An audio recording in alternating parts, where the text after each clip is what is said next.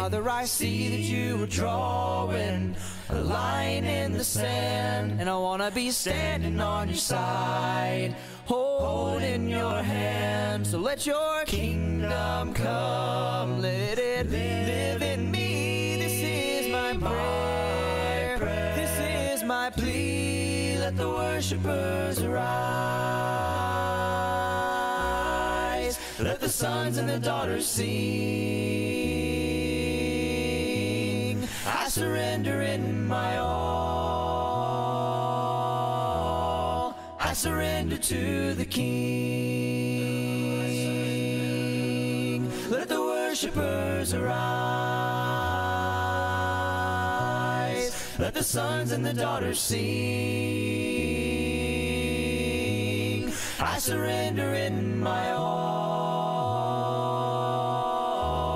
I surrender to the King. Father, I hear it growing louder. The song of your redeemed as the saints of every nation are awakening to sing. From our hearts there comes an anthem. Oh, hear the heavens ring. This is our song, a song to our King. Let the worshipers arise. Let the sons and the daughters sing. Surrender in my all. I surrender to the King. Let the worshipers arise. Let the sons and the daughters sing. I surrender in my all. I surrender to the King. Surrender in my all. I surrender to the King.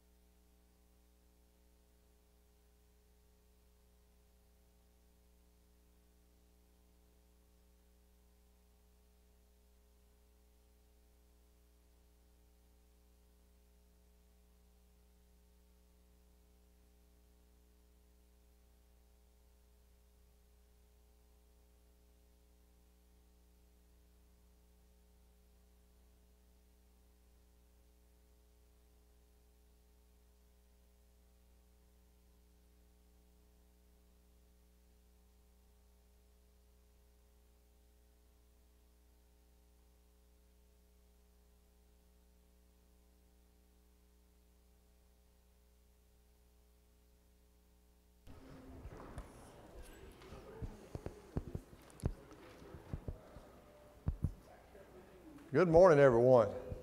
It's good to see you out. And we've got visitors with us again. We're glad to have them with us always. We're studying the book of Revelation, and last week we finished up chapter 9, and didn't cover much last week, but this morning we're going to study chapter 10, and um, that's as far as we're going to go this morning.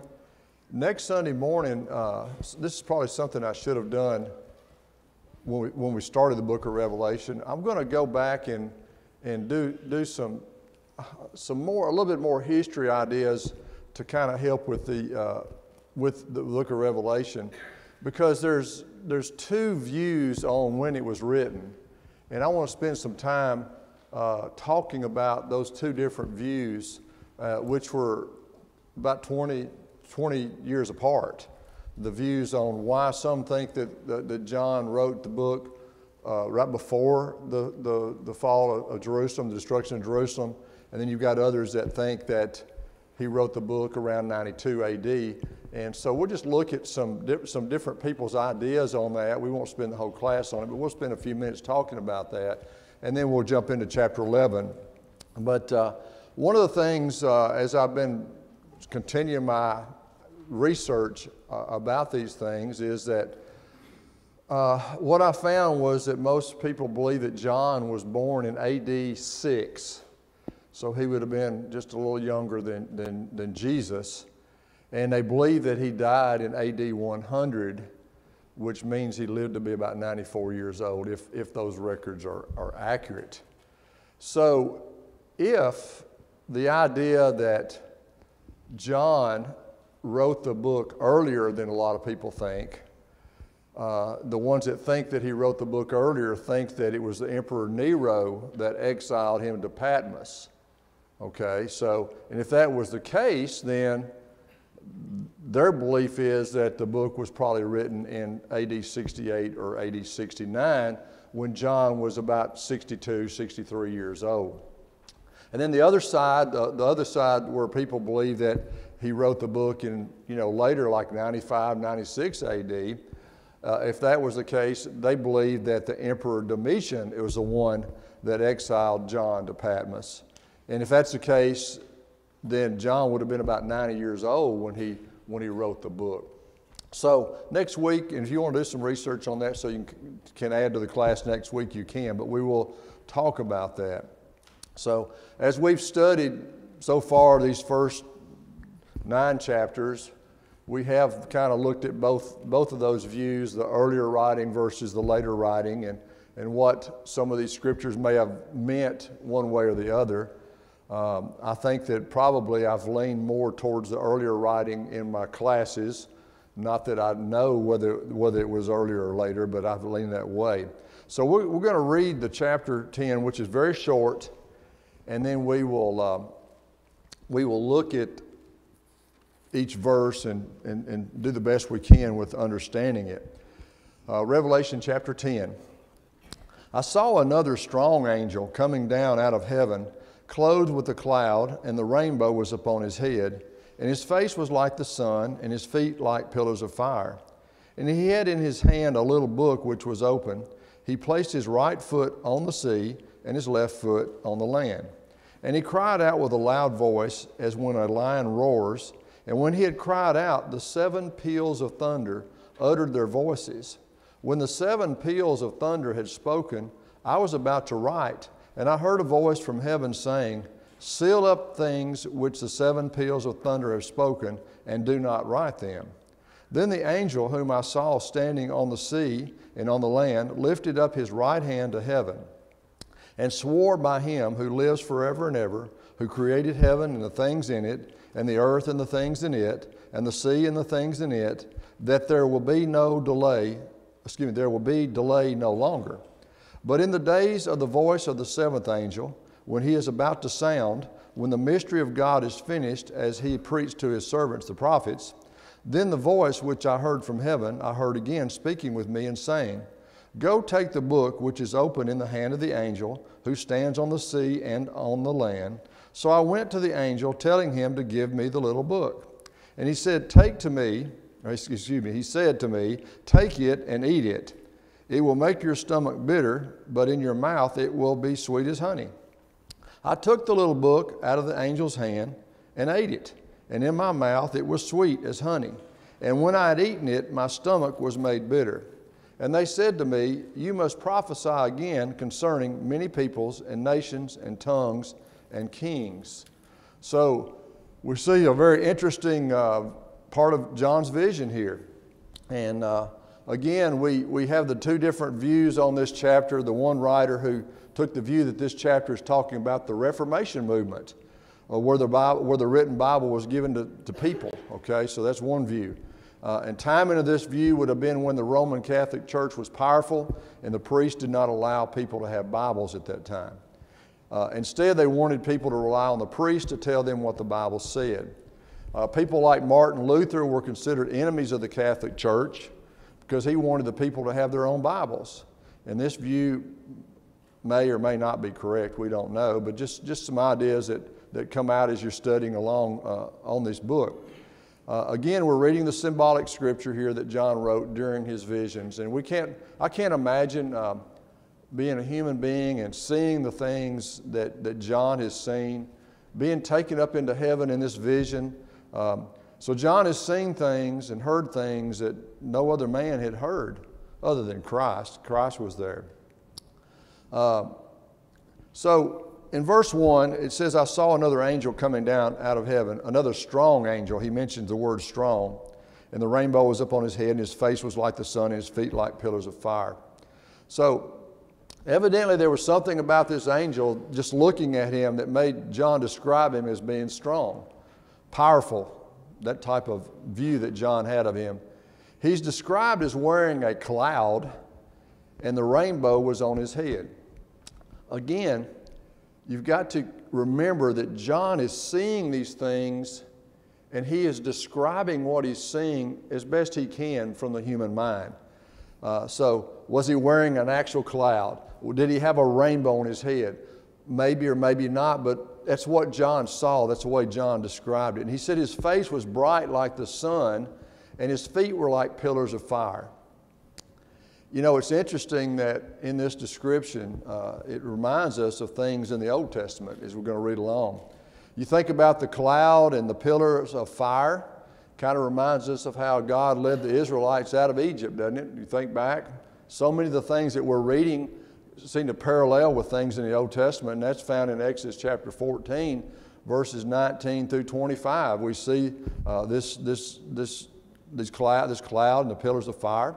And as God looked down through the pillar of fire and cloud, he caused the Egyptian army to be confused. And we read that in Exodus 14. And they became afraid and they said, Let us flee from Israel, for the Lord is fighting for them against the Egyptians.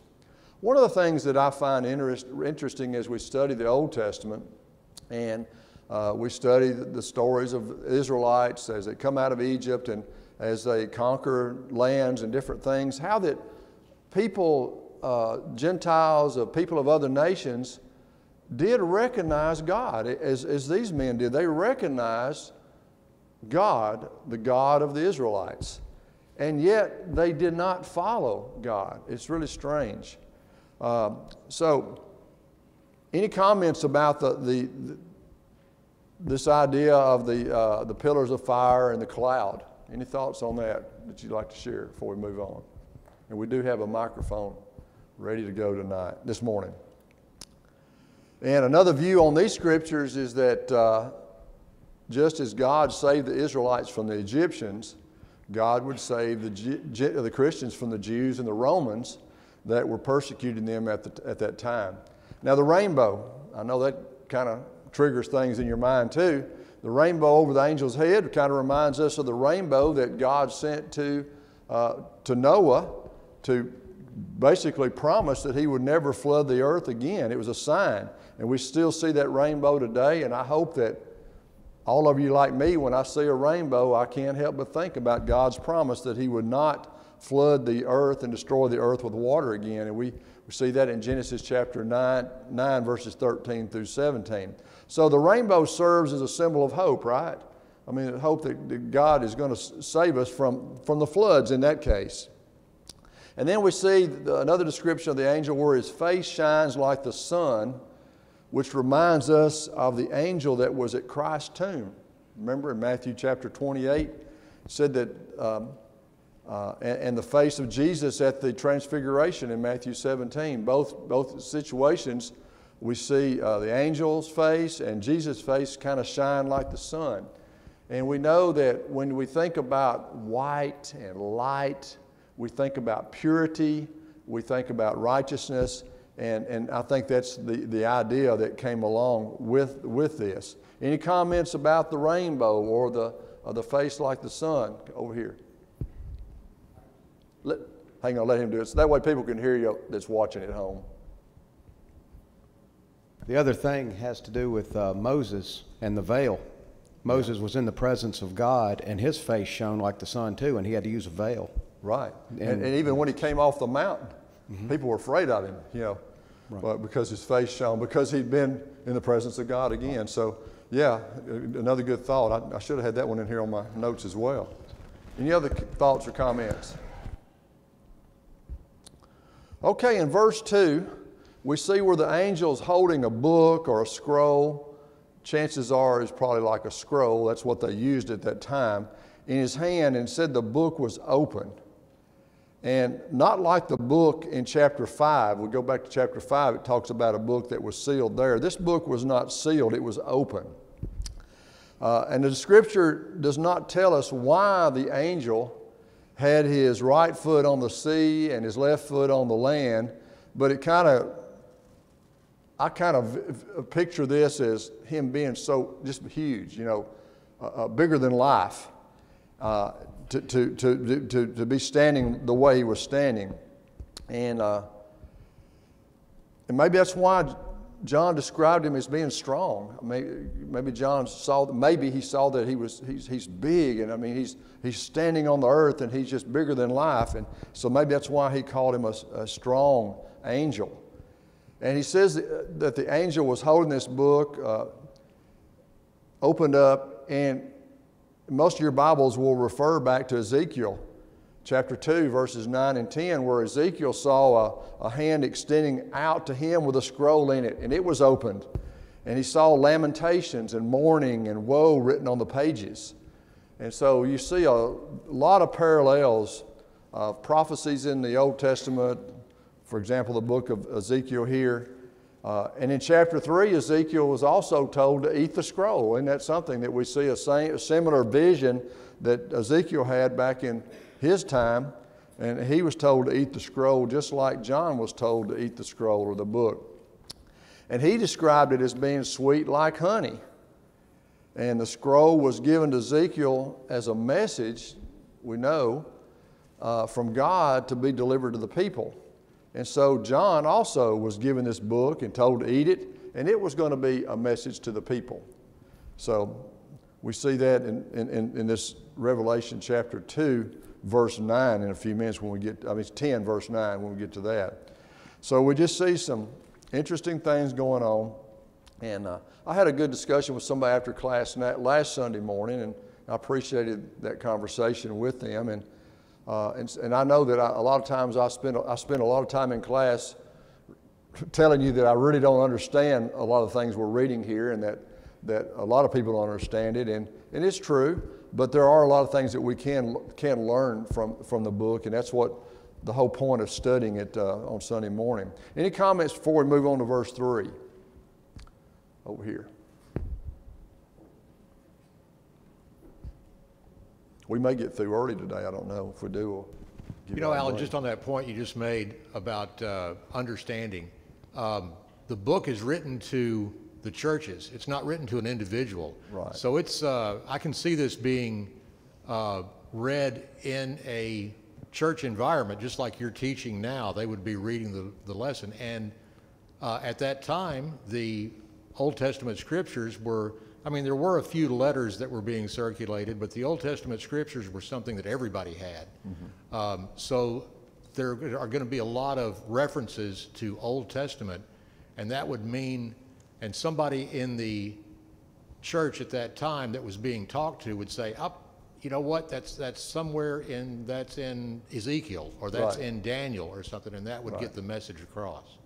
Yeah, and, and going back to this idea where there's two different ideas, and, and I, I'll be honest with you, I don't know which idea is correct when he wrote the book. I don't know if it was prior to the destruction of Jerusalem, and I don't know if it was in 95 AD. I just don't know because there's so many uh, conflicting uh, arguments there, and, and, and there, are, there are good arguments on both sides for that. So let's just assume that, that he wrote the book prior to the destruction of Jerusalem, just for a moment.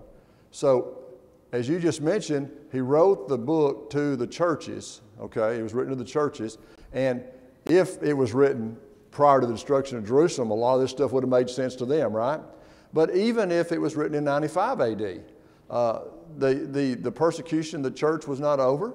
Uh, we also know that God is, uh, through over a few hundred years, he's going to wipe out the Roman Empire because of what they did. He, he used the Roman Empire uh, uh, for his purposes, uh, which included uh, persecuting Christians.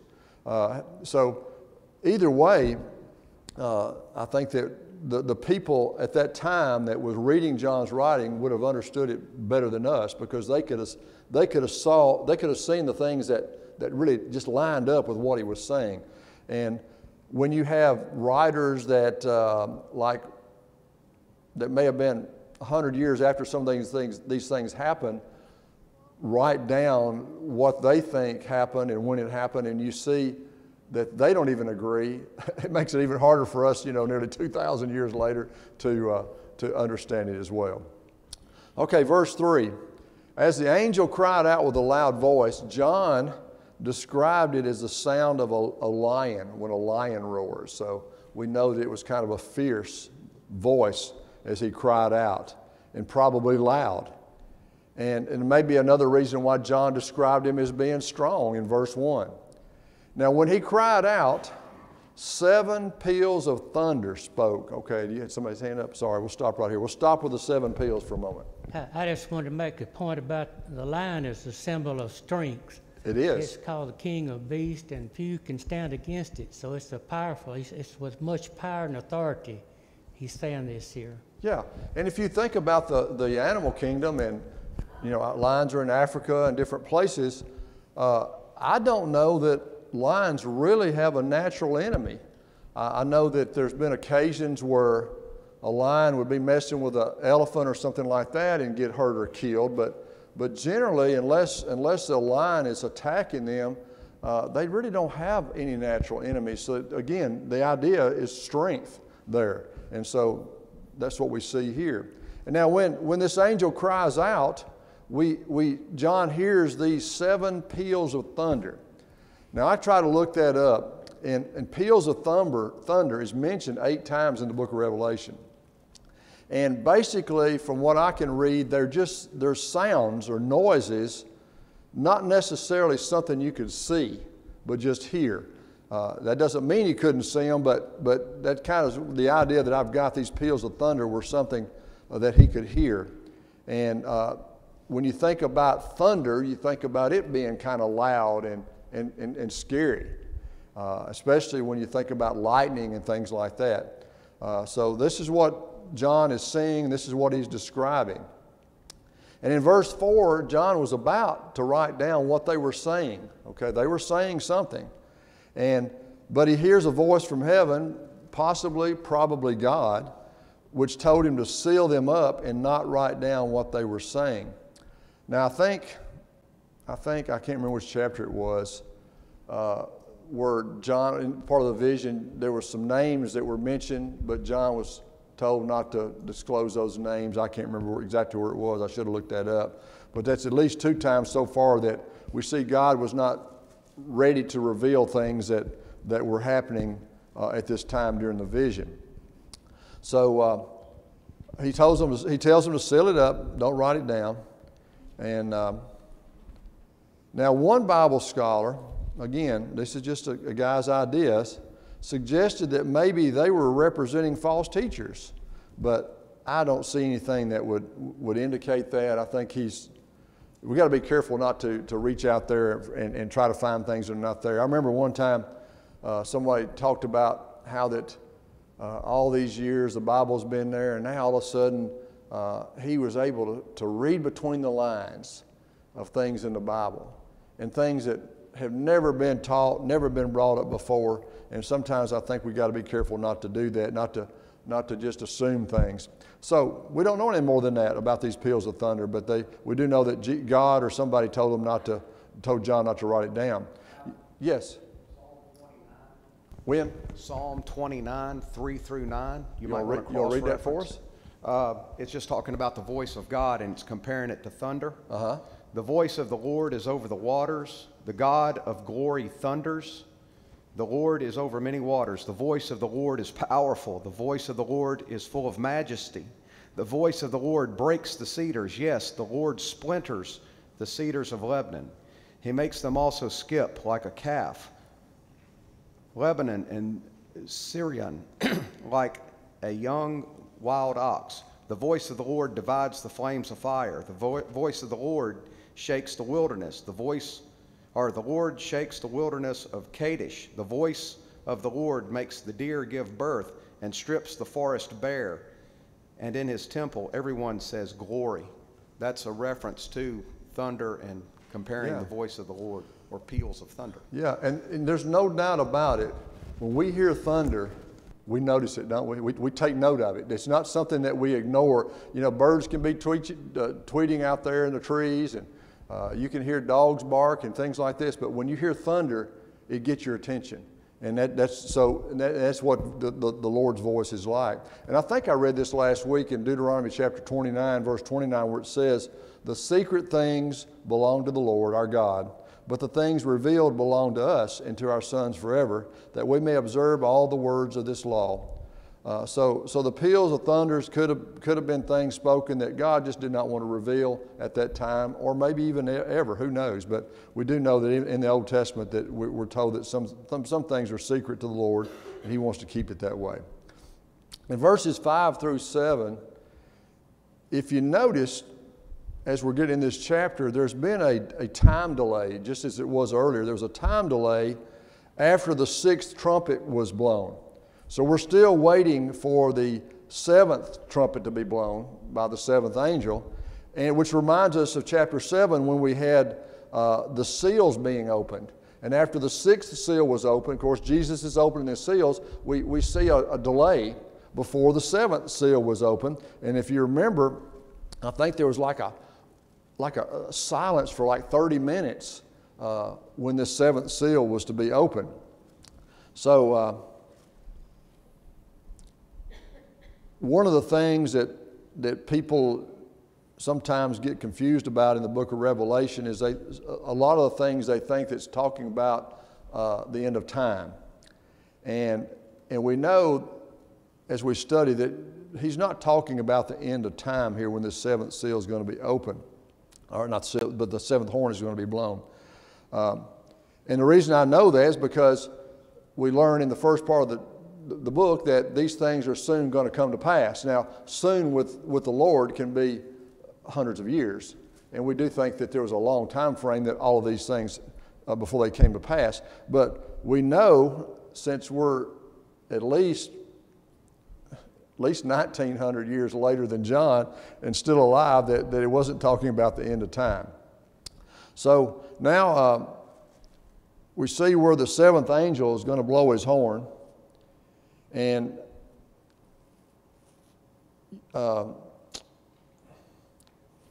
and who knows exactly what this, this seventh horn is supposed to represent, but some people believe it's the fulfillment of the prophecies we read in the Old Testament. Writers like Daniel in Daniel chapter 9, where he was predicting the destruction of Jerusalem. And uh, even Jesus in Matthew 24, uh, in his prophecies, describing the abomination of desolation, in other words, the destruction of Jerusalem. Uh, that, that may be what he's talking about. I don't know. Uh, any comments on, on these, these five through seven verses here? Anybody? Got any comments or thoughts on them? Okay. Then we jump into verses 8 through 10. And uh, John hears a voice from heaven telling him to take the book open, uh, the open book from the angel uh, who's standing on the land in the sea, one foot in the sea, one foot on the land. And John goes to the angel and asks for the book. I, I, I would just love to know what his thoughts were. He sees this strong angel that is standing partly in the ocean, partly on the, on the land. And, and he, he has a voice that, that roars like a lion. And John is told to go to this angel and, and say, Give me that book. So uh, it makes you wonder was, was he afraid? I mean, I, I think he probably was a little bit afraid. Uh, I, I, think any of us would have been afraid. Just in all that he was seeing, we'd have been afraid. Uh, so uh, it's interesting that he, that, that he does. And John goes to the angel and he asks for the book. And the angel does give it to him. But the angel tells him to eat the book. I don't know what, what this means. I don't know why Ezekiel in his vision was told to eat this book. I don't know why John was told to eat the book. Maybe by eating the book, it was going to impart knowledge to him to, to be able to write these things. I don't know. Uh, I do find it interesting that the book was sweet when he was eating it in his mouth, sweet like honey. Uh, but when he swallowed it, it made him sick in his stomach. And uh, we've heard those saying bittersweet. You know, sometimes things happen that are bittersweet. I, I don't really know what that means. Does anybody have any thoughts or ideas of what the idea was here about the, the book tasting sweet and then making him sick in his stomach. Okay. He's coming. How many times if you needed to tell somebody something that was a good thing to tell them, but it put a, you know, a, a lump in your gut? Yeah. Gave you, oh, I've got to tell you this. It's, it's something you need to know, but the nerves you Yeah. know, put butterflies in your stomach. I think that's what it is. Yeah, uh, and, and you know, have you ever had anybody tell you, so, got some things to tell you. Maybe you're building a house, contractor, I got, I got some things to tell you. You want to hear the good or the bad first, you know? and and uh, so I don't know, uh, uh, I don't know which, I think I'd want to hear the bad first, you know? That's just me personally, but not everybody's that way. You got your hand up. Well, if you think about it historically, you know, they're, they're looking forward to the fall of the Roman Empire because they're persecuting them. But at the same time, the fall of the Roman Empire was the fall of civilization to a large degree. That after that was several hundred years of the Dark Ages where people were living in terrible poverty and plague and famine and just really hard times to live through. So it would be great that the Lord has triumphed, Yeah? but it would also be a very difficult time to live through. Yeah, that's a good point. It kind of reminds me of uh, Ukraine, what Ukraine's going through right now. I mean, that country has just been just destroyed. The infrastructure, the buildings, and things like that. And and you can imagine that if if the Russians finally stop and they they, they back out, uh, the the the Ukrainians will be happy for the fact that they're gone, the war is over. But look at the pain and suffering that they're going to deal deal with, just like just like the, the Christians did uh, when the Roman Empire was eventually wiped out. Uh, even though God was watching over them, uh, they still suffered. And, um, and, and I know that, and I don't remember where it was, but we've already studied it, but there was a point where Jesus says that these things that are going to happen uh, will never happen again. In other words, the, the, the bad things that were going to happen would never be this bad again. And we're thankful for that. Any other comments? Bittersweet. Okay, move on to verse 11. So finally, the angel told John to prophesy again about many people, nations, tongues, and kings, which again makes me think that when he ate the book, the book gave him knowledge to, to prophesy these things that he's, that he's supposed to prophesy. So the, the scene of John eating the book, uh, he gained this knowledge from the book, and kind of like Ezekiel probably did when he ate the book in his vision. Um, we know that there were going to be good things happen for Christians, as, as uh, David just mentioned, but also going to be some bad things happen uh, because of the persecution and things that, uh, that were going to happen and those people that rejected Christ. Uh, and we know, and we mentioned last week, that not only were the Romans uh, persecuting Christians, uh, the Jews were too. the Jews persecuted Christians from the very beginning, right? when the, after the church was established, uh, the Jews, uh, they went after them. Uh, Paul, being a Jew before he became a Christian, uh, went after Christians, persecuted Christians, and uh, even participated in the death of Christians like Stephen. Um, moving on, any comments about verse 11? Then we jump into verse 12. The fourth angel. Do what? Am I, am I? Oh, okay, okay. Oh, yeah, these are old notes here. Good grief. Yeah, we just, we just, where did, where did it happen? Where did I go here? I think I've lost uh, some of my paperwork.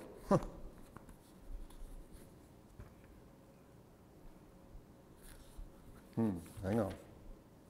Let me find myself here. I shouldn't have brought all this old stuff with me. Okay. I think we're finished. I think we're finished here. And I can't even find the sheet that I had just a moment ago. That's pretty bad. There it is. There it is. Okay. Any other comments about this chapter? We got 15 minutes left. Yes, sir.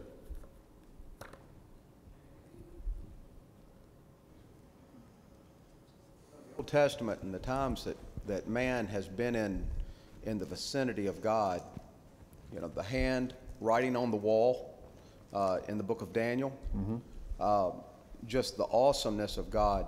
Um, and then I was looking up um, Matthew chapter 17. You know, it says that, that the voice were like peals of thunder and they were uttered. Uttered makes me think of whispered, not, not at a loud voice, just an, it's just so there, you know, like a clap of thunder. Um, it, it reminded me of uh, the Mount of Transfiguration, and when Peter's made a suggestion that, that three tabernacles be made for Jesus, Moses, and Elijah, and it says, While he was still speaking, this is Peter, behold, a bright cloud overshadowed them, and suddenly a voice came out of the cloud saying, This is my beloved Son, in whom I'm well pleased. Hear him. And there's an explanation mark there Yeah. which makes me think that it was a little louder than normal. Yeah. And the response was, and when the disciples heard it, they fell on their faces and were greatly af- afraid. But Jesus came and touched them and said, Arise and do not be afraid. Yeah. So just the awesomeness of being in the presence of God.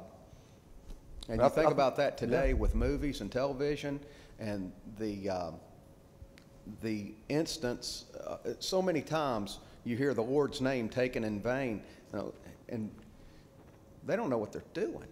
I know, I know. We, we need to really be careful about that. Uh, we watch a lot of these, uh, these shows where they remodel houses and things, and, and the people, the people uh, will walk into the house, and the first thing they say over and over again is OMG, OMG. And they just don't understand that, that they are abusing God's name. And uh, I hope that all of us will remember that. I've even heard members of the church have done the same thing. We just need to be careful. Since we've got a few minutes, though, I, let's just look at chapter 11 to prepare, prepare for next week because I think it's interesting because, again, we're going to be uh, going back to and talking about Ezekiel. So just look at the first couple of verses here. Uh, it says, Then there was given me a measuring rod, a staff, and someone said, Get up and measure the temple of God and the altar and those who worship in it. I, I think it's interesting that several times someone talks to, to John in his vision, and he does not identify who they were. In this case, he just says, Someone, someone said to me to get up and measure the temple of God and the altar and those who worship in it. If you go back and study this week, back in Ezekiel chapter 40, verse 3, all the way through 42, verse 20, we see where Ezekiel has a similar thing happen to him. He's told to do some measuring. And, and here in verse 2 it says, Leave out the court which is outside the temple and do not measure it, for it has been given to the nations, and they will tread underfoot the holy city for 42 months. And verse 3 says, And I will grant authority to my two witnesses, and they will prophesy for 1260 days, clothed in sackcloth. So go back and do a little study in Ezekiel, and, and now it gets into details how he's supposed to measure and all these different things, and we'll talk about that next week. So I'm going to close the class right now unless someone else has something else to say and give you all a few minutes to talk. Anybody have anything else? Let's bow and have a prayer. Our Heavenly Father, we're so thankful for another beautiful day, and we're thankful for the time that we've had to spend together this morning studying from Revelation. Father, we're thankful for your word, and we're thankful, Father, that it's written in such a way that we can study it every day of our life and still continue to learn things. And we pray, Father, that you will help us to learn as we continue this study in the book of Revelation. Father, we're thankful for uh, the church. We're thankful for the blessings that we have through the church, Father, as we, we look around and see all each other, as we love each other and care for each other. And, and Father, when some of us have hard times where the others are there for, the, for us, Father, and we're just thankful for that. And Father, as we're studying and thinking about your name, we pray, Father, that we'll always show you the honor and the reverence that you truly deserve, and that we'll never misuse your name or your word, Father. We realize how serious it is to be a Christian, to be a follower of yours, and that we pray that we'll always take it serious. Father, we're mindful of those that are sick. And we pray that you will heal them if it be your will. And we have so many, Father, on our, our prayer list and our extended prayer list that are suffering at this time, and some of them very serious. And we just pray that if it be your will, that you'll restore their health.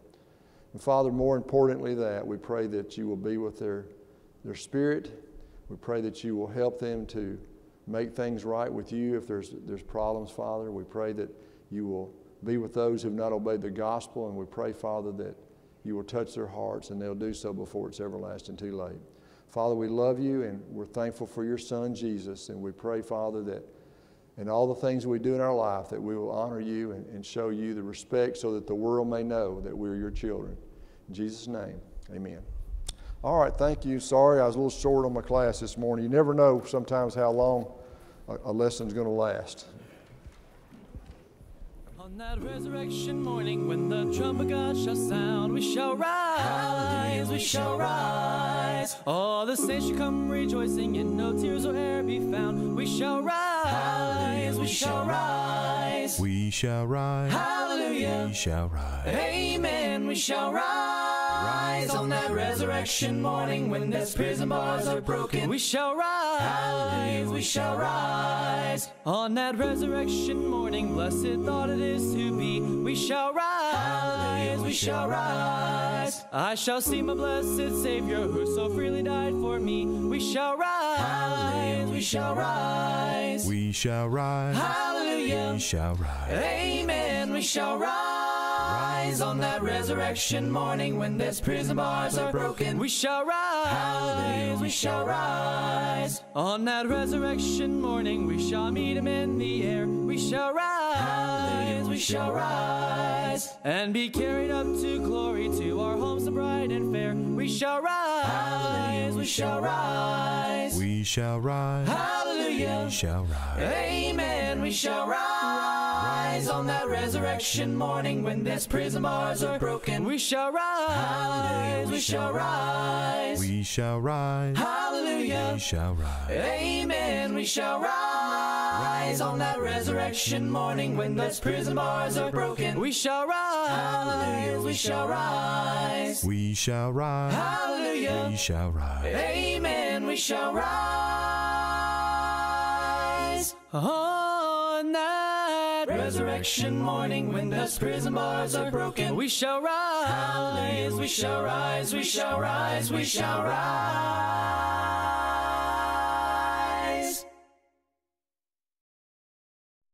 One thing we ask of you, one thing that we desire, that as we worship you, Lord, come and change our lives.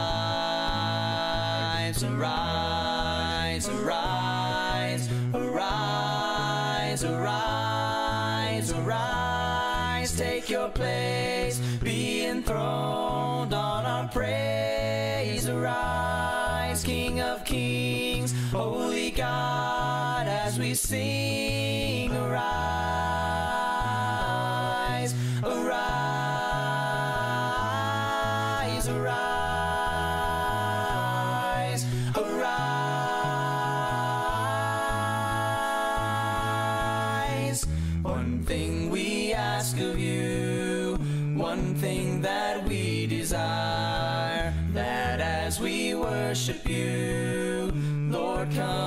Change our lives.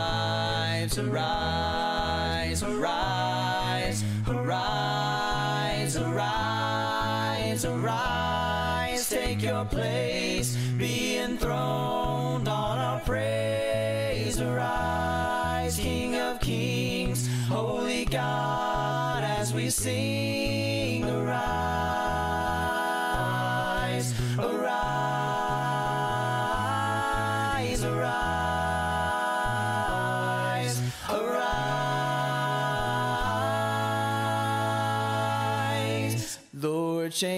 Our lives. Jesus, arise. Lord, change our lives. Jesus, arise. Lord, change our lives. Jesus, arise. Lord, change our lives. Jesus, arise.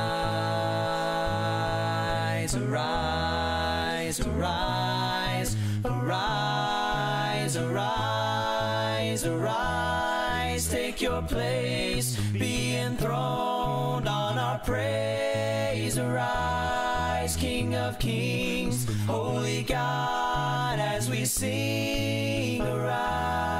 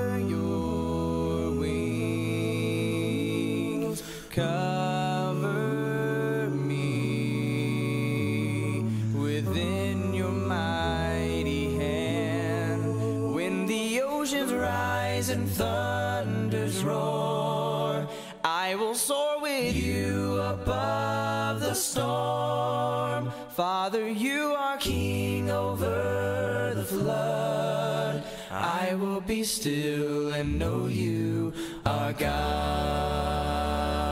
Find rest, my soul, in Christ alone. Know His power in quietness and trust. When the oceans rise and thunders roar, I will soar with you above the storm. Father, you are king over the flood. I will be still and know you are God. When the oceans rise and thunders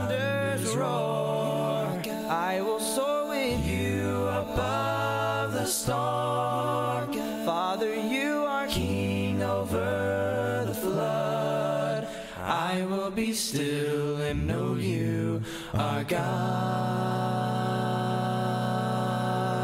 I will be still and know you are God.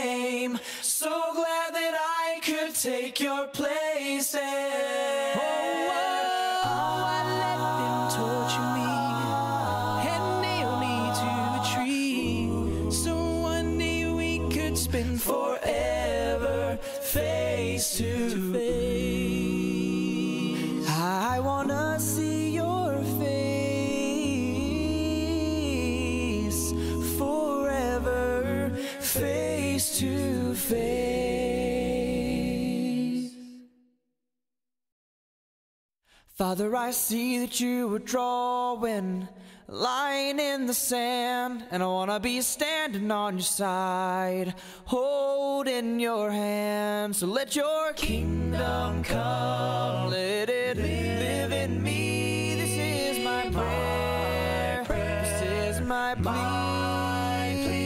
Father, I see that you were drawing a line in the sand, and I want to be standing on your side, holding your hand. So let your kingdom come, let it live in me. This is my prayer, this is my plea. Let the worshipers arise,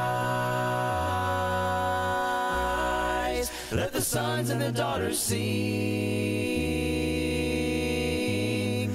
Surrender in my all. I surrender to the King. Let the worshipers arise. Let the sons and the daughters sing. I surrender in my all. I surrender to the King. Father, I hear it growing louder.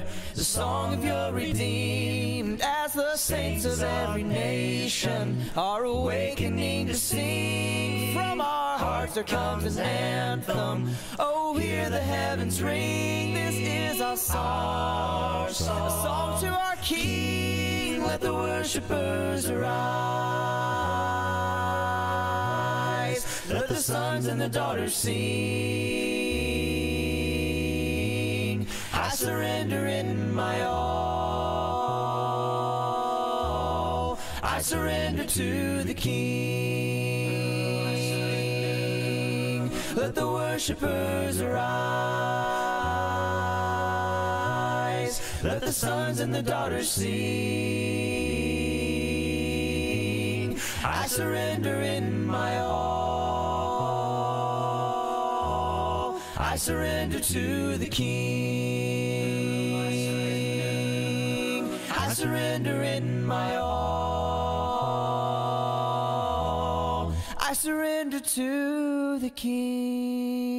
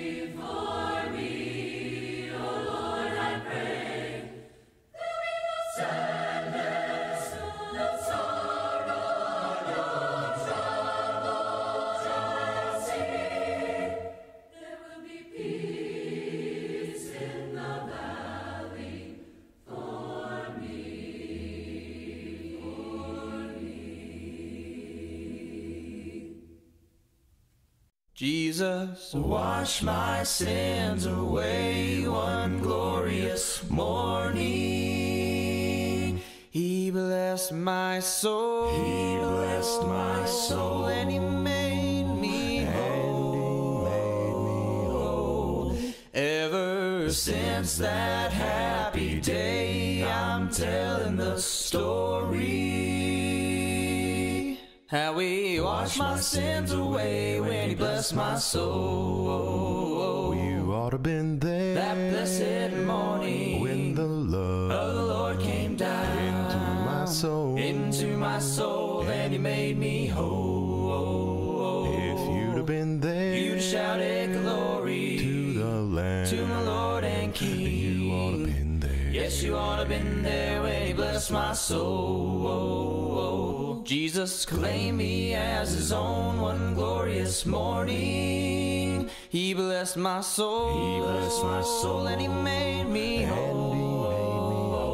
Ever since this joy I've known, I'm telling the story. How He washed my sins away when He blessed my soul. You ought to been there That blessed morning soul. into my soul and He made me whole. If you'd have been there You'd have shouted glory to the Lamb, to my Lord and King. you ought to have been there. Yes, you ought to have been there when He blessed my soul. Well, You ought to have been there That blessed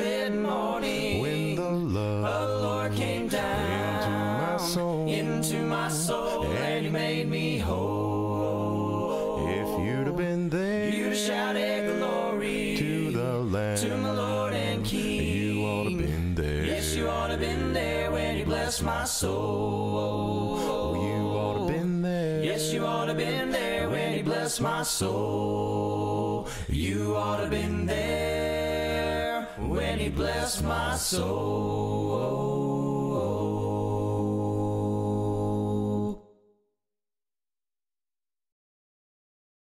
I'm in the way, the bright and shining way. I'm in the glory land, glory land way. Telling the world saves today. Yes, I'm in the glory land, glory land way. I'm in the glory land, glory land way. I'm in the glory land, glory land way. Heaven is nearer and the way groweth clearer for I'm in the glory land, glory land way. Onward I go, rejoicing in his love. I'm in the glory land, glory land way. Soon I shall see him in that home above. Oh, I'm in the glory land, glory land way. I'm in the glory land, glory land way. I'm in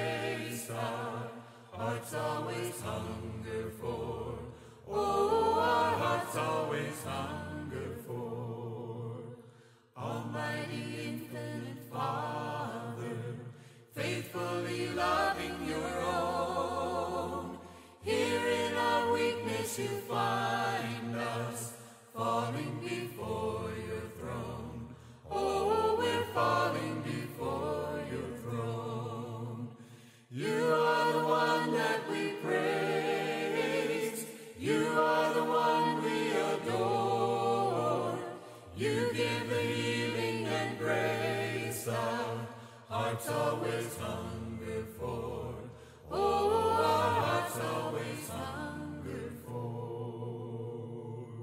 I'm satisfied with just a cottage below, a little silver and a little gold. But in that city where the ransom will shine, I want to gold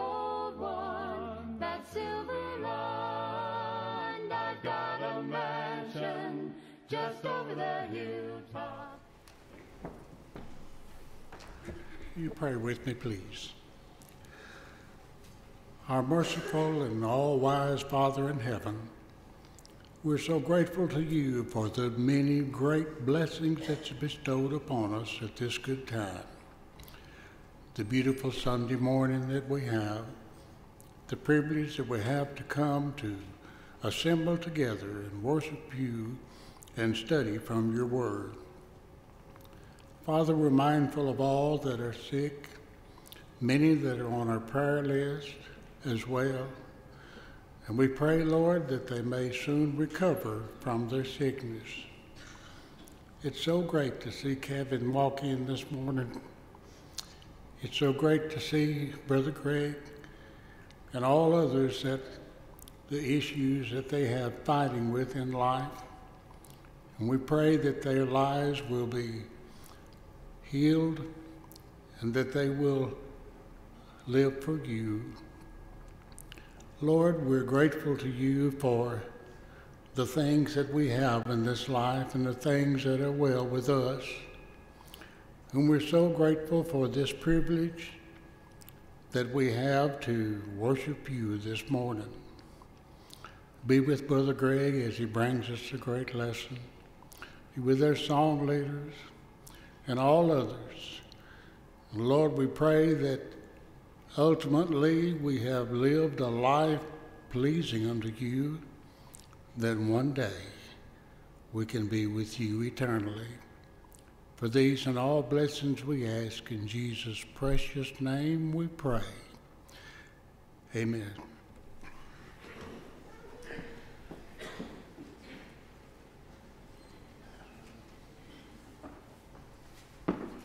Morning. It's good to be back this morning. Uh, just a couple announcements from myself before we uh, get started this morning. Uh, number one, we, uh, Allie and I just wanted to extend uh, a thank you to everyone who was involved in our wedding. Uh, we know that there were many people who worked very, very hard on that, so we want to give a very warm thank you to everyone who participated in that and attended and was a part of that. Um, also, secondly, this morning, um, Gavin and I have decided to uh, start a song leading class. Uh, we are going to be doing that on Sunday afternoons uh, at 4:30. Um, we're going to be starting that next week. Um, Gavin and I feel it's very important to uh, share the song leading experience and knowledge that we have, and this goes for anyone who is young enough to start song leading to any age above who would like to learn more about song leading um, and maybe sharpen their skills. Or if you've never led a song before, we'd encourage you to do that too. We'd love to have as many capable men here as possible. So there is a sign up sheet in the foyer. Um, this is such a very important thing. It's so important, in fact, that Gavin won't be here next week. Um, but we will be doing this um, till about early August. Um, it'll be sort of one on one teaching, uh, so we really only have room for one person per person. Uh, each Sunday afternoon. So we'll be doing that starting next week at 4:30 on Sunday afternoons here at the building. So if you want to do that, uh, be sure to sign up on the sheet out in the foyer. Uh, we're going to start off this morning with God will take care of you, verses 1 and 4. God will take care of you, verses 1 and 4.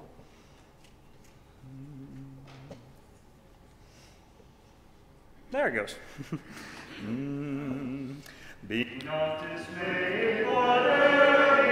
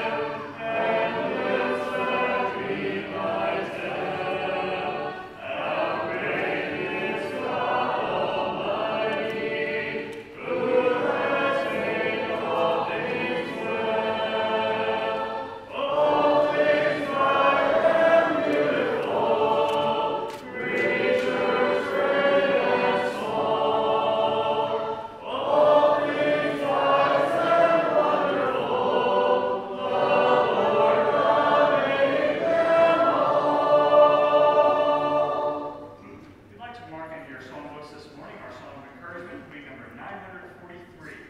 943. That'll be our song after the lesson this morning. That'll be Do You Know My Jesus? Sing all verses of that. Uh, before our lesson this morning, excuse me, uh, we'll be singing number 448. 448.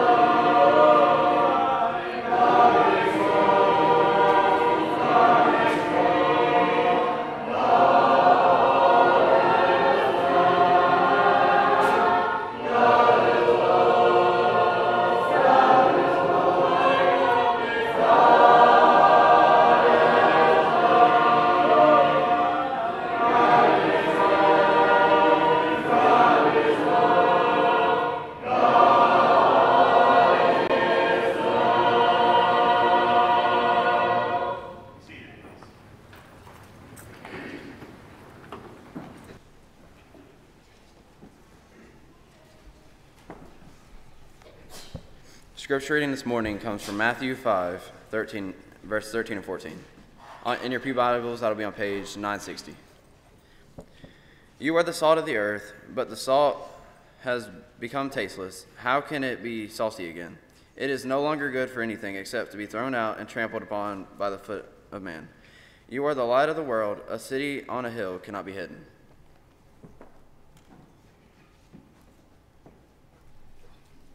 Let us bow. Almighty God, we bow humbly before you this morning, expressing our need for you to help us as we walk through life, that we have a, a want to express a dependence on you as our creator, as a giver of life and the source of every blessing that we have. We want to mo- most of all thank you for Jesus Christ, that you loved us so much and you are love. You gave your only Son that He come to this earth and fulfilled His mission. He died and was buried and rose again on that third day.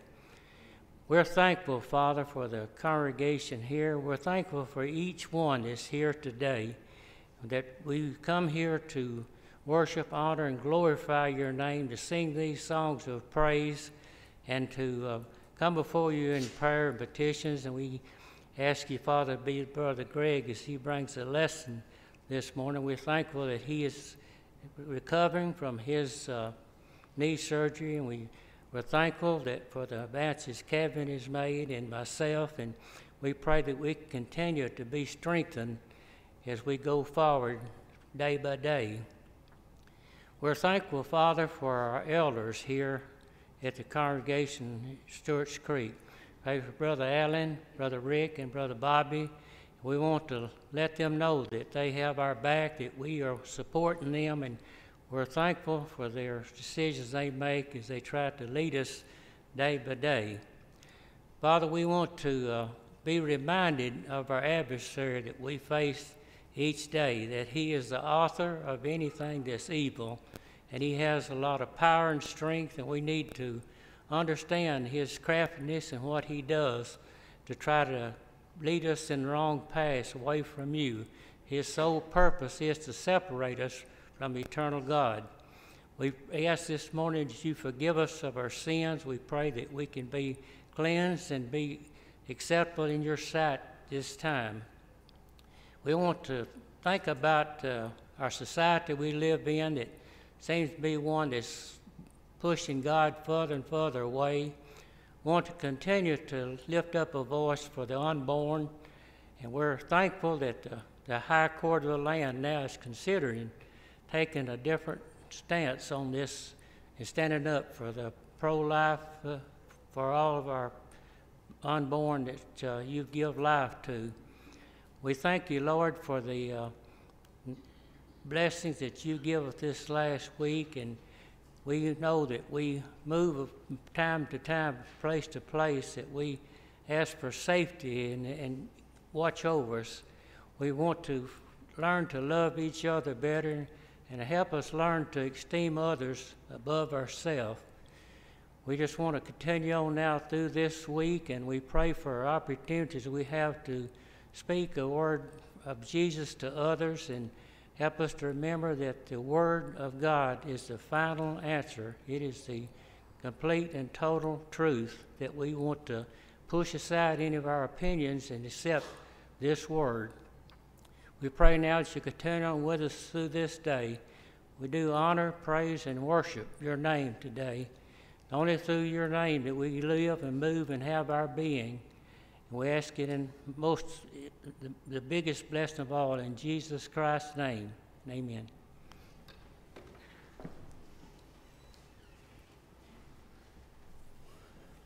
It's good to see everyone out this morning. We appreciate you being here with us.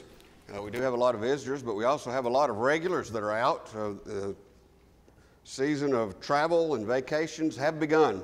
So let's keep all them that are traveling in our prayers uh, and on our minds so that they all return back safely. Of course, we've got our uh, camp coming up soon, uh, VBS as well, not too far off the future. So keep all that in your prayers. One quick announcement before we begin is uh, right after service this morning, Uh, Clay Hill's got a option or opportunity for a men's day out. Uh, so if you could meet with him just quickly in the fellowship hall, let him share you, with you what that is so that he can get a, a number of those interested to see if it's worth uh, his time to, to get it all organized. He's already looks like he's got a bunch of it organized as it is. Uh, but he needs to know if there's enough of you interested to continue on. So if you can meet just real quick, it won't take him long to show you what he has, and you'd either raise your hand or, or not on uh, that, and then he can get the sign up sheet accordingly. But yeah, just right after service. Started a college class. Uh, our, our college group has grown, and now that they're home for summer, wanted to be able to offer that as an op- option. And so the first class we had last week, I gave them index cards, and I said, I, I want to know what you want to learn about. And you know, I was hoping that each one would put at least a couple of things on the card. No, I got like five or six on each card, uh, and the topics were were impressive, I'll say. The things that they're wanting to learn more about. A lot of it is just how to deal with the world and people in the world as a Christian. And uh, so you're going to get some sermons off of these topics. They're that good. And as I'm trying to do study on some of them to be better prepared to, to teach the classes, and I've got Rick and Caleb also helping. We're kind of in a, a rotation on Sundays and, and Wednesdays. Uh, the young men in it are volunteering to teach classes, which I'm very excited about. Uh, so uh, I'm really positive about it all, but I think it's going to help me as a Christian as much as them studying the topics that they're interested in. This topic this morning actually comes from part of the concept of, of some of the questions they had about Christians and how to live in the world, influence the world as Christians. Because they're being faced today with all sorts of questions from everything from, from the LGBTQ to, to racism to atheism to evolution. I mean, it, it's so broad of a spectrum that they're having to deal with, and they're being asked as Christians questions about, and they're wanting answers. And amen to them for wanting the answers and, and wanting to look for those answers. And we as Christians need to be providing those answers. I think one of our biggest weaknesses we have in a pulpit today is we are not facing today's problems with God's answers. We're too stuck on the same old, same old, and, and let's everybody be happy, but there's some tough things out there. We as Christians, the answers are here, but we need to be looking for them and sharing. So this morning, I want to talk to you about how can a Christian influence the world. Uh, this morning in, in our class, we were talking about respect. How can you show respect to others and yet respect Christianity and yourself and, and help others to respect your beliefs? That's deep. Um, so many things to look at in, in that question. Because in the world today, whether it's at school, at work, just in general, we're tempted by the world every day. And we as Christians have to start being a bigger influence. Uh, we talked about in the class, I flicked on the news this morning for a short while. I'm, I'm getting a bad attitude towards news because it's all negative. There's people protesting about racism. There's, there's people protesting about pride. There's people protesting about abortion. There's people protesting about guns. Everybody's angry at everybody. Even Jenny was trying to sell loofahs on Marketplace. And this just tells you the attitude of, of our society today. One lady says, Well, what kind of soil was it grown in? Well, my first sarcastic thought was dirt. But Jenny says, No, I put them in Miracle Grow. She sent back, Well, then I just throw it all out. So she, she got on her Facebook and she's anti pretty much everything but oxygen. And I was like, That's kind of the attitude of our society today. We, we have our attitude, and if you don't agree with it, you're wrong, and we're going to insult you. Brothers and sisters, we cannot fall into that trap. The world is so divided. And you want to say believers with unbelievers, but I'm classifying a lot of people that are sitting on pews today as unbelievers because they go sit on the pew and they say they're Christian or whatever fill in the blank religion. But they'll walk out that door and there's nothing about them that is Christian or godly. So when I'm saying believers and unbelievers, I'm not just saying people sitting in church versus people not. There's some people out there living better lives that never darken the door of a church than there are some that are living in the church. We need to keep that in mind. Believers, things that we should realize is there's, there's a spiritual helplessness. You say, well, I don't like the concept of being helpless, Greg. We're helpless with lots of things. Trust me, in the past two years, I've learned I'm helpless a lot of the time. Because of the surgeries and the things, it seems like I just stay helpless. But we are. There's things we need help with. Brothers and sisters, spiritually, we need God. We can't be spiritual without Him. There should be sorrow over sin, not celebration. And yet, today in our society, far too often, we are celebrating sin and things that God is against. There should be a hunger for righteousness. People have lost the desire for things to be right and for people to do what is right. I'm hearing even those in, in, like district attorney positions, well, you know, I hate to, to arrest too many that are, are, uh, are poor or too many that are in, and they list these categories. And I'm like, wait a minute. So you're saying these people don't have to obey the laws, but these do. That's not the way it works with God, and yet too often that's what Christians want. As long as I love God attitude, it doesn't matter how I live my life, and that's wrong. There, need, there is a need for meekness and purity. Oh, does our society need both of the above? The desire to be peacemakers. Maybe we need to all go out there with signs and say, start protesting for peace in our country. I, see people protesting and wearing things for the Ukraine. They're wanting peace there. But, brothers and sisters, we need peace in our own country.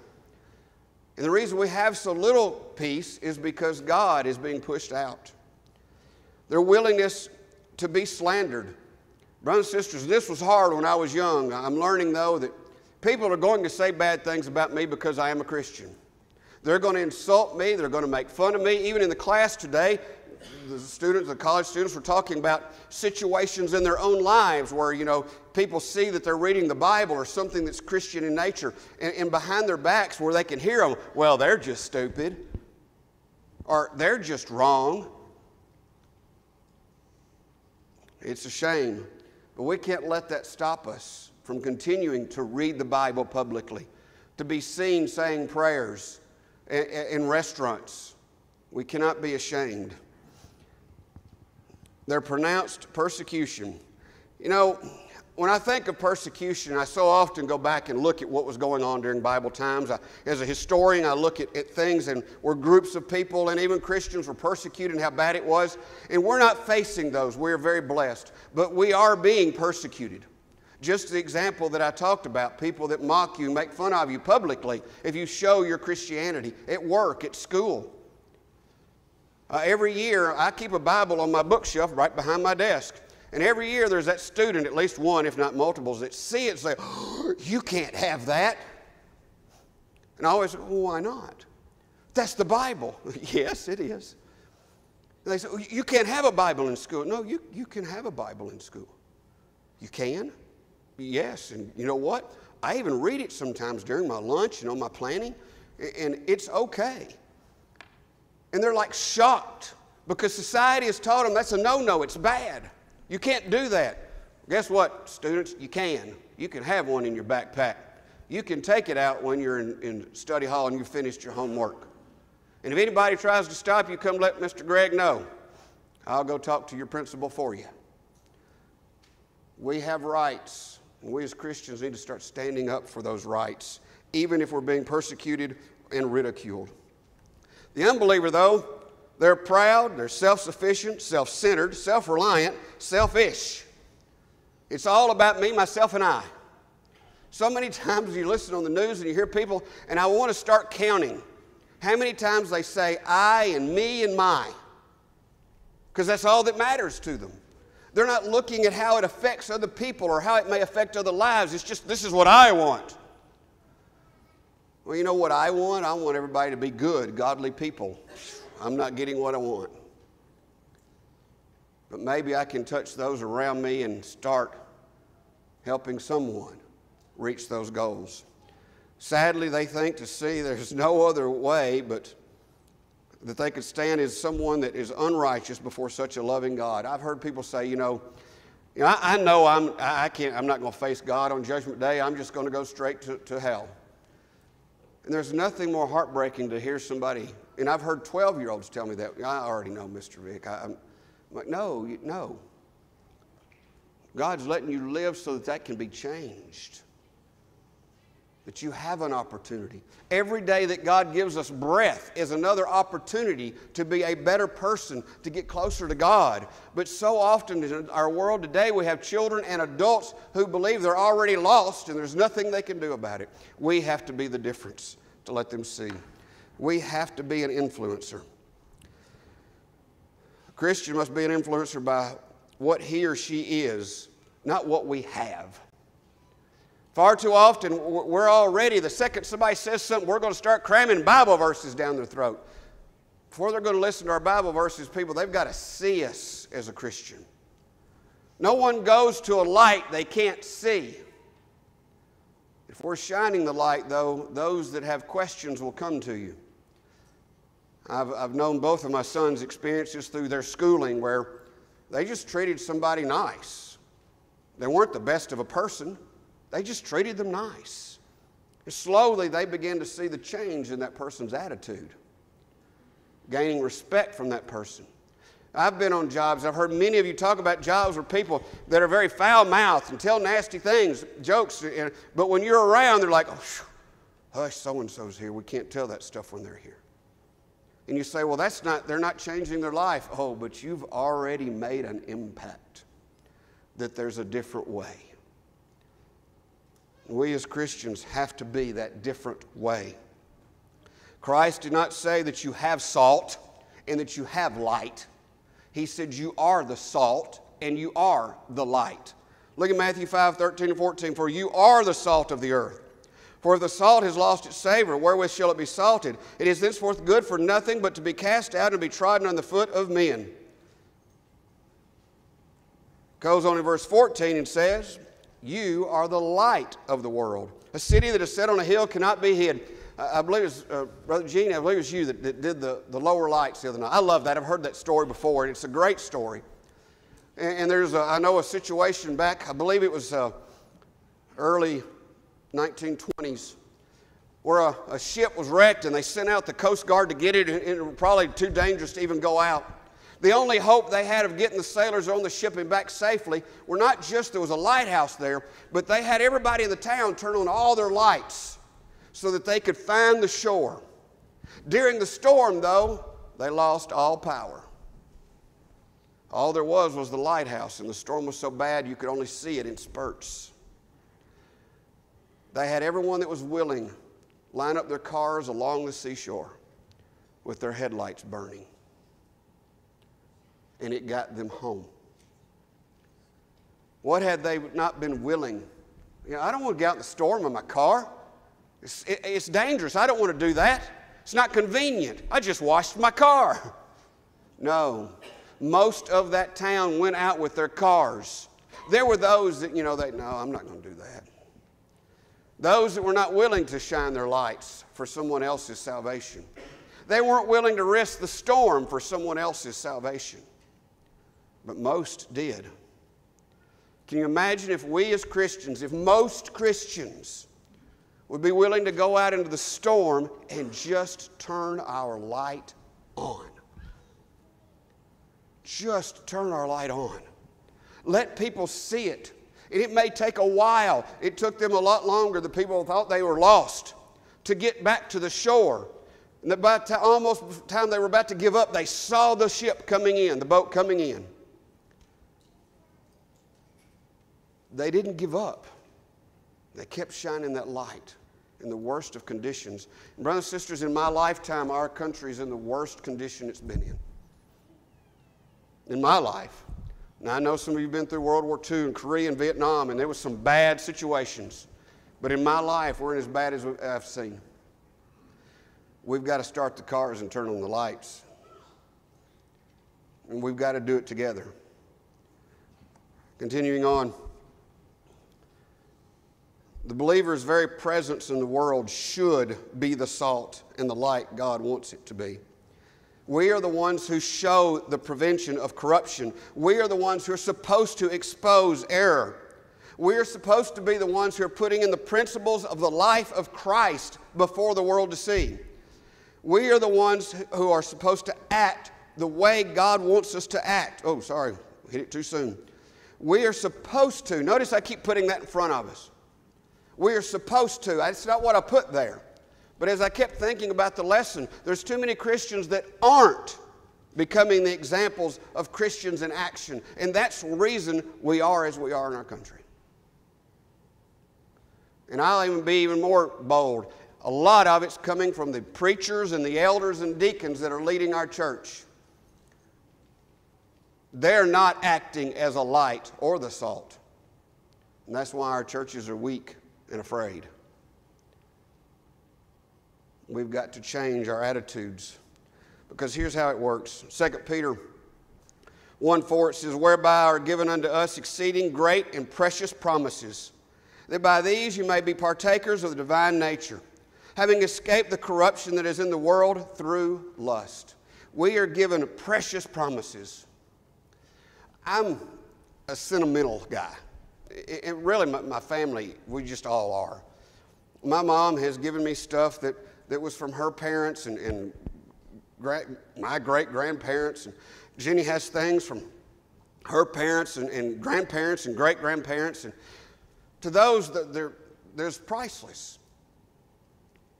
Matthew had found some old cufflinks of Bob Bowles, which I can't imagine Bob wearing a tuxedo or cufflinks anyway. But he had them and, and he, he, had them, got them cleaned up, and he, he's, we took it and it's like, are those diamonds? And she was using them. Nope, those aren't diamonds. But I guarantee you, if somebody offered him 25 or 50 bucks for it, he wouldn't take them because they got a lot more value than that to him. That should be the way we feel about God's Word. It should be precious, something we're not hiding in a box, but that we want to share, that we want to use, that we want to, to let people see and be a part of. And not be ashamed of who we are, whether it be our family and our history or whether it be the church in Christ. We can't shine a light if we're ashamed of our own light. Also, look in 1 Corinthians 6 9 and 10. Because of Christ, non believers are no longer fornicators or adulterers or idolaters, effeminate or no abusers of themselves with mankind, nor thieves, nor covetous, nor drunkards, nor revelers, nor extortioners. It is because believers taught them a different way that their lives were changed.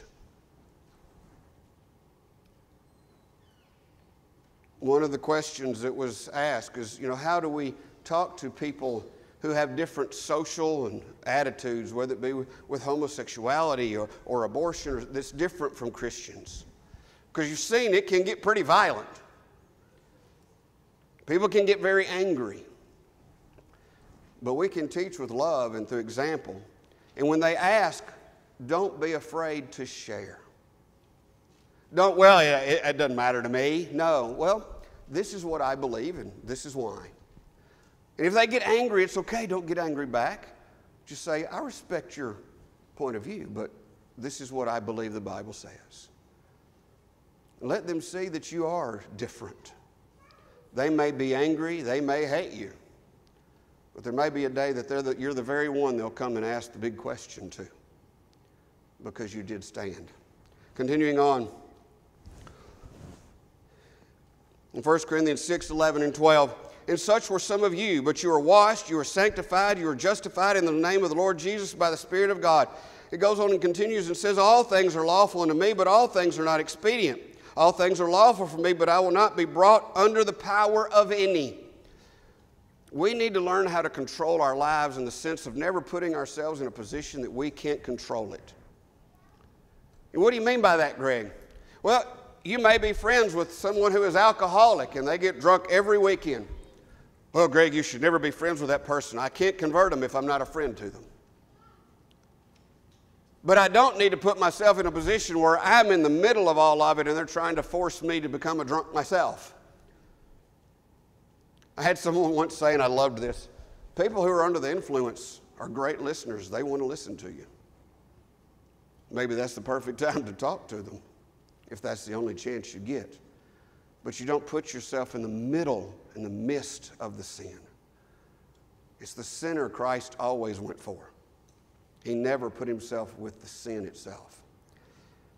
We as Christians are the power to help others come to Christ. We're not the power to save, that's God. It's His Word, it's the blood of Jesus. But we can be that light that God uses to shine to the right time for the right person. And we never know when that person is going to be or when we close a door because we didn't shine our light. We must make tough decisions as to who and what we are in Christ Jesus. Who are we? Who are we going to be? What kind of person do I want to be as a God fearing Christian? And find my weaknesses. We all have them. Come on. I told you about the people that start yelling at you. I struggle with that, my anger. I want to start yelling back. And so I, I have to really maintain. And I told them in the class, I also have learned in my old age. You learn a lot when you get old. It's a shame you don't have this wisdom when you're 20. Probably save you a lot of heartache.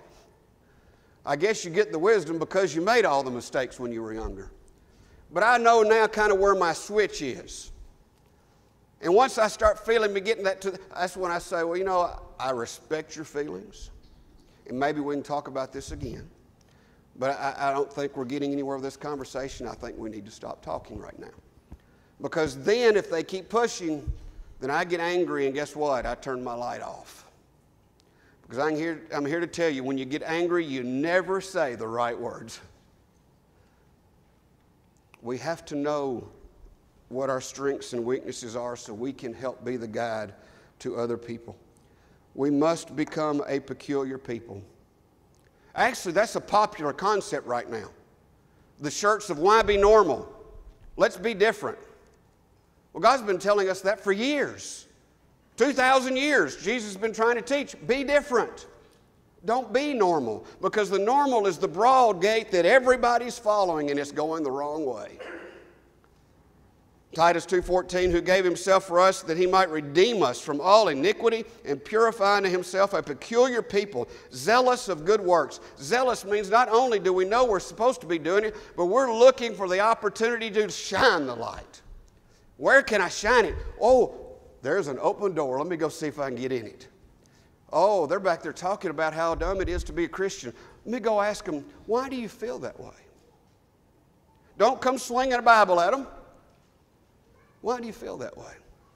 Help me understand your feelings because you see, through that, they might start understanding yours.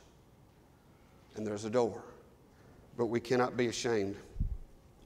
The unbeliever notices how much we've changed when we do change our lives and become Christians. I've talked to people who have come out of the world and, and, and they've start seeing the things that they were doing and realizing, you know, when I was in that life, I didn't realize I shouldn't be doing that. I didn't realize that was a poor decision. But now that I'm around Christian people and I'm studying God's Word, I realize, you know, that's what was causing me a lot of heartache, was because I was making these poor decisions. We've got to help people change their priorities by changing our own. In Luke chapter 9, 25 and 26, it says, For what is a man advantaged if he gain the whole world and loses himself to be a castaway? For whosoever shall be ashamed of me and my words, of him shall the Son of Man be ashamed when he shall come in his own glory and his fathers and the holy angels. If we're going to be ashamed of Christ and unwilling to shine our lights, brothers and sisters, do not expect him on judgment day to acknowledge us as his own. He, he can't. He's given us a job to be the light and the salt of the earth. So, those that want to say, well, no, you, you don't have to do anything. Well, being a light is doing something. Being the salt is doing something. It affects change in the environment around you. Shine a light in darkness, see how it changes. Put salt on meat, see how it preserves. Put salt on any of your dish, see how it changes it. Those two things affect the environment around it. And guess what, Christians? That's our job to affect the environment around us. Make the changes. We also need to learn to find contentment. 2 Corinthians 6:10 is sorrowful yet always rejoicing, is poor yet making many rich, is having nothing and yet possessing all things. I've been blessed to go, and, and many of you have gone to Honduras with me. Some have gone to Africa with Alan. Uh, they even had taken a few people to Russia back in- in the 90s when I went.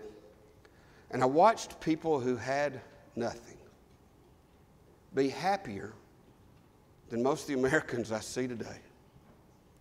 I mean, I, I went into homes where they're sweeping their dirt floor. They're sleeping on a pad that, that's on the floor. And yet they're so happy because they have the church and they have this relationship and this friendship, and, and they don't have to anymore worry about the fact, yeah, I'm poor, but my church members make sure I always have food. And, and, and they've bought my children in, in Honduras and in places like that. If you don't have a uniform, you can't go to school. The problem is, most of them cannot afford a uniform for their children, so their children go uneducated. But the churches over there, they're making sure the kids have uniforms and they have the papers and the pencils, and they're making sure their children are able to go to school, something they never had before until they had God in their life. And so they have less than we do, and yet they seem happier than many of us are. And you won't be humbled, go watch that. It reminds you just how small we really are in this great big world. We need to show the world how happy we can be, even if we're not the richest, not the most powerful. We don't have more letters after our name than we have in it. We can be happy because God has blessed us. This past Wednesday night, I was blessed to baptize Grace. And every time I baptize someone, I always get first hug. And I always tell them, You're my sister or you're my brother now. You're my family. And I don't mean, I'm not saying it just because there's the words I'm supposed to say. I, that's how I feel. And I look at these, these young men and ladies that are down here, and I've watched them all grow up from babies, and I've seen them after they become Christians. And those are my brothers and sisters. Well, maybe I'm old enough, maybe I should just call them my kids, but we're family. I was talking to Tina, we got people from Colorado. We don't hold it against Melissa, it's okay.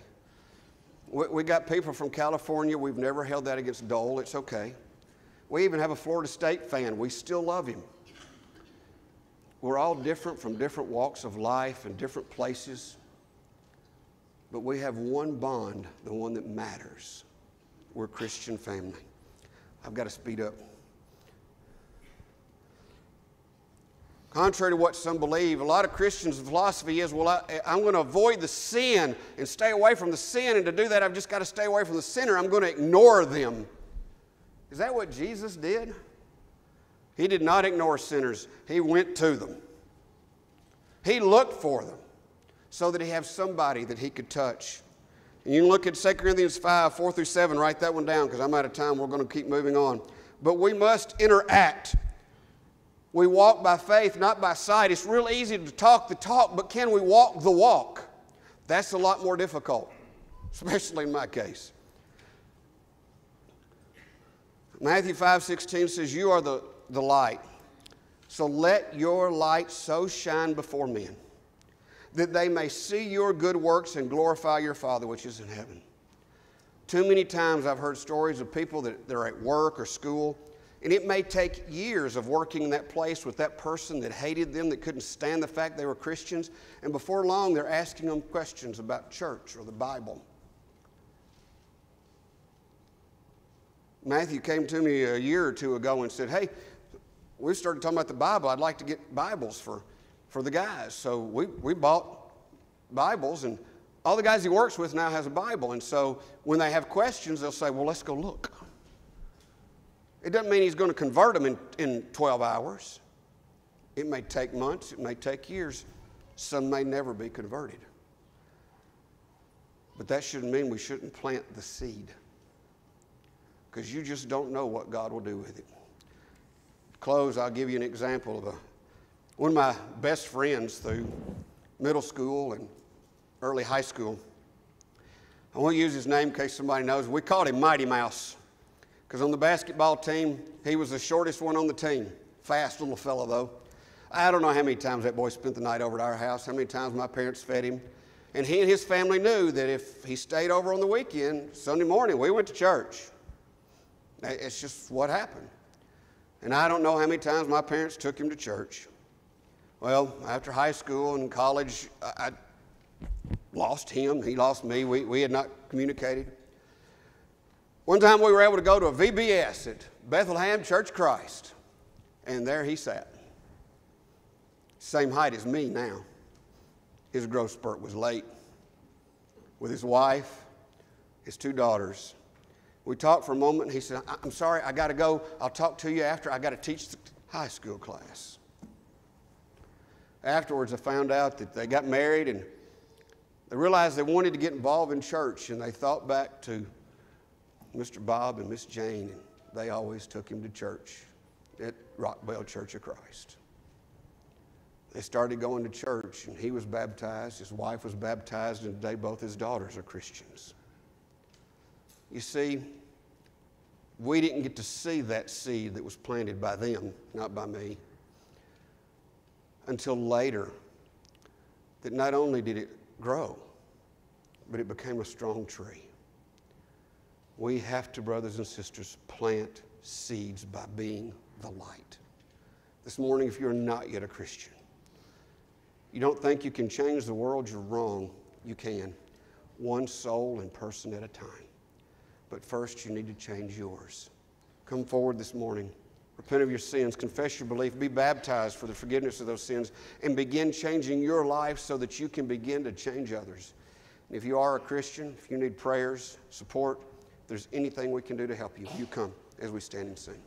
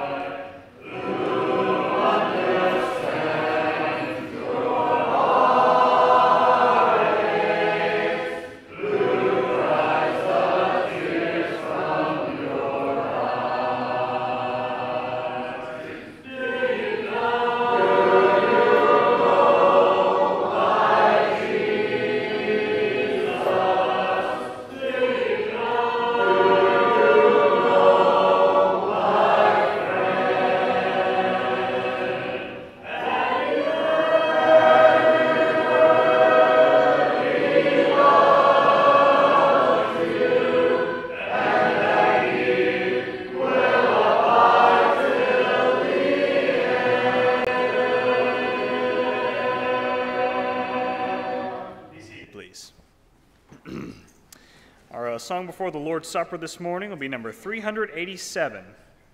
387, Tell Me the Story of Jesus. We'll sing all verses of this song. 387.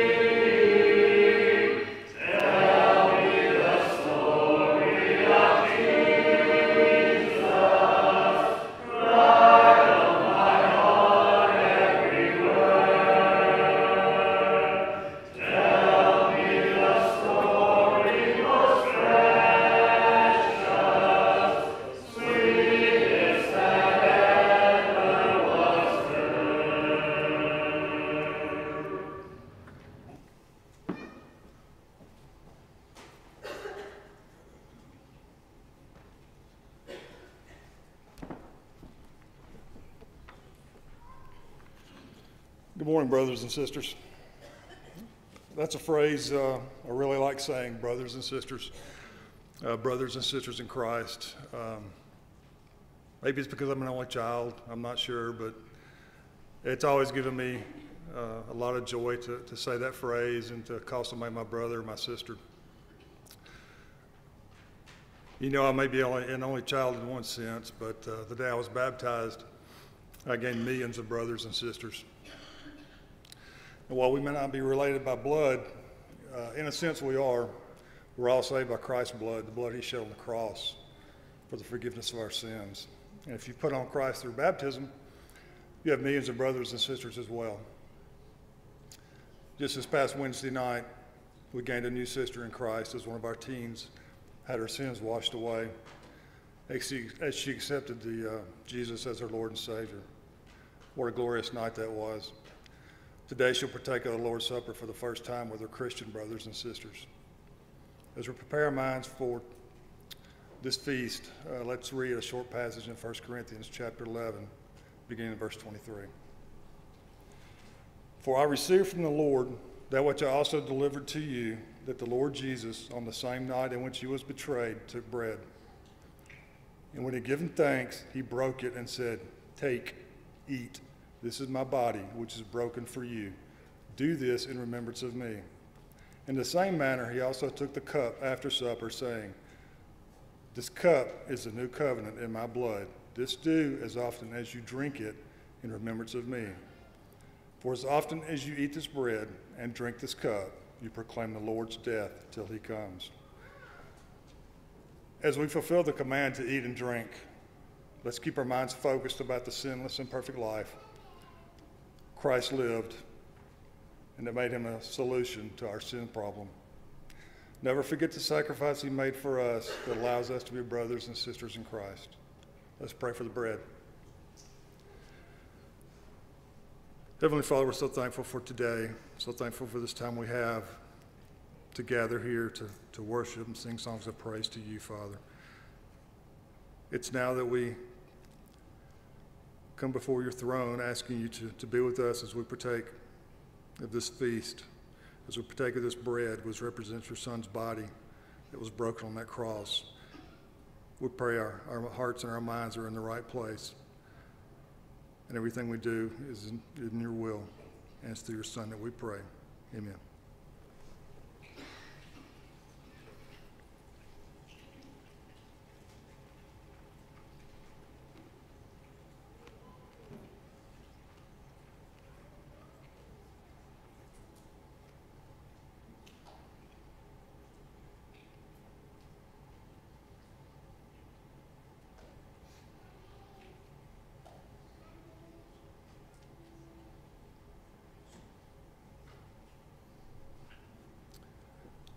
Let's pray for the cup. Father, we love you so much. We're so thankful for your willingness to send your son to die. Father, we know it was agony on that cross, and we know that this fruit of the vine represents the blood that he shed for us so that we may have a hope in heaven one day for you. With you, Father, we pray we partake of this fruit of the vine in a way that's pleasing to you. And again, it's through your Son that we pray. Amen.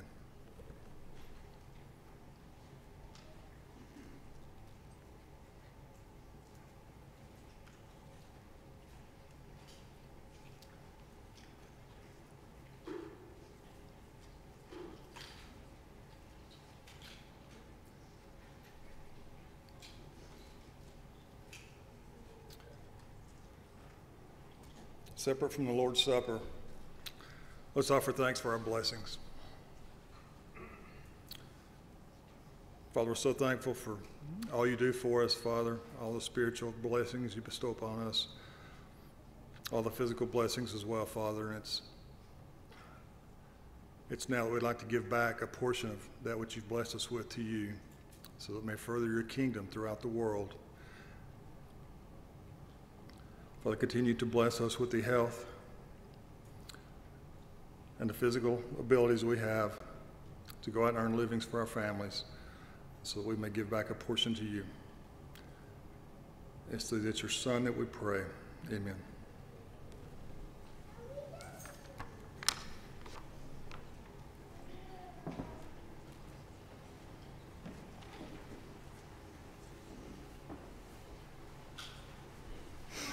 Closing song this morning will be number, uh, will, will be a number, it'll be To the Work. To the Work. We'll sing all verses of this song. If you would please stand for this closing song. All verses, To the Work.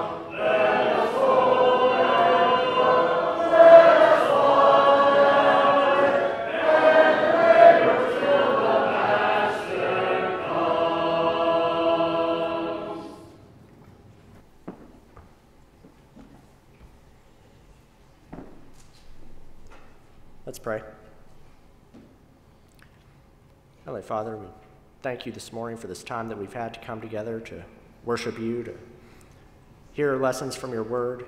Help us to take those lessons to heart.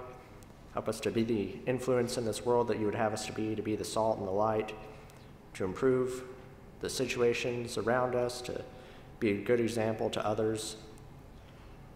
Lord, we're so thankful for all the visitors we have and for all the events that we have planned for this summer. We pray that we can enjoy times of fellowship, times of happiness, times to grow closer to one another, and times to spread your word. Help all of our work to be according to your will, to follow your truth, to bring others to you. Be with us as we go out into the world. Help us to keep our lives pure and to spread your gospel. Please be with all those who are on the sick list. Bring them back to be with us as soon as possible. We're so thankful for the successful surgeries and healings that have occurred. It's in Christ's name we pray. Amen.